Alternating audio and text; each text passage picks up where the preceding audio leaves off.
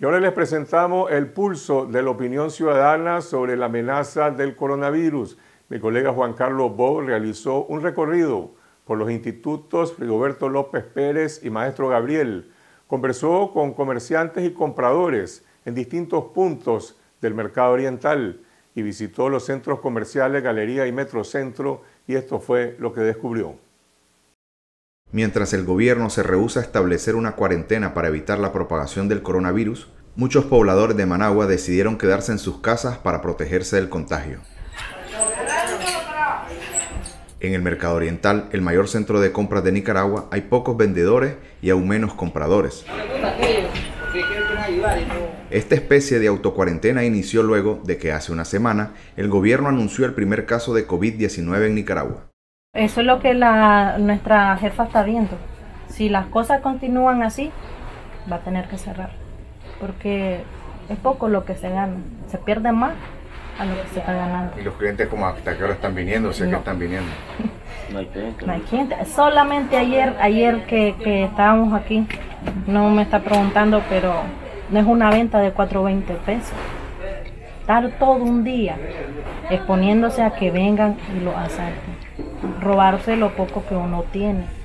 Entonces, uno amerita mejor cerrar porque si las cosas se van mejorando, primeramente Dios, ahí sí abren. Desde que comenzó esto, el virus, la gente va cerrando, va cerrando. Y te va a ver bastante tramos cerrados, bastante, hay más que ayer. Hay más.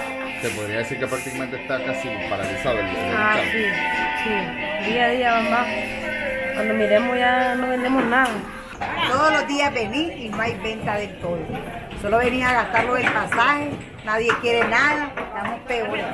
¿Y a qué hora está cerrando usted? A las 2 de la tarde, porque aquí nadie viene. Si llamas luego aquí corres y nadie te agarra. Sí, eso está mal. La mayoría de los comerciantes y trabajadores del Oriental que mantienen abiertos sus negocios están en el área de alimentos. 5, 5. Nuestros hijos se mueren de hambre. Porque nosotros no tenemos un ingreso, el único ingreso es lo poco que vendemos a diario. ¿Ves? No hay ingreso de dinero. Si yo cierro o agarro tantos días para irme a mi casa, ¿de qué van a comer nuestros hijos? Tenemos deuda y tenemos hijos que mantener. Entonces no podríamos quedarnos en casa, aunque nosotros deseáramos quedar. Nosotros no podemos cerrar porque nosotros vivimos el día a día y la verdad de las cosas es de que si yo cierro, ¿Con, qué, con cómo voy yo a venir a, sustentar a mi familia? Si esto es lo que a mí me da de comer.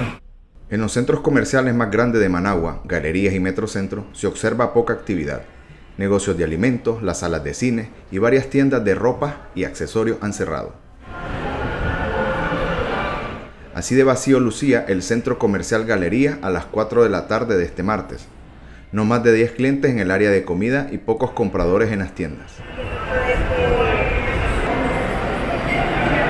Más movimiento se observaba en Metrocentro a las 5 de la tarde, pero el bajón de clientes es notable en este centro comercial que es el más céntrico de Managua. En los colegios públicos, el Ministerio de Educación ha ordenado la realización de exámenes parciales para forzar a los estudiantes a asistir a clases, sin embargo, muchos padres decidieron no enviar a sus hijos a las escuelas e institutos. Esta noche recorrió los pasillos de los institutos Rigoberto López Pérez y Maestro Gabriel y este fue el ambiente que encontramos. Esas son las imágenes que se captaron en algunos de los principales institutos de la capital. Hola, soy Tiffany Roberts, periodista nicaragüense de la cadena Univisión. Quiero invitarlos a que se suscriban al canal de YouTube de Confidencial. Es la única manera que vamos a poder ganarle a la censura, estar pendientes y poder consumir lo que producen nuestros medios independientes. Así que adelante, tenemos derecho de trabajar, de informar y de ser periodistas.